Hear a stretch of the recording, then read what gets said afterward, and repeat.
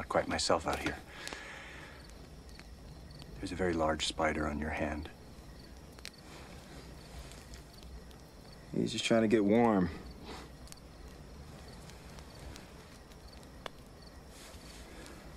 How is it you know so much about the desert, anyway? I lived out here as a boy. I Was raised by the Indians. Really? Now that is... Hey, take a look at this. That's a desert wasp, one of the world's greatest hunters. She'll kill the tarantula, lay her eggs inside, so her babies will have some food when they hatch.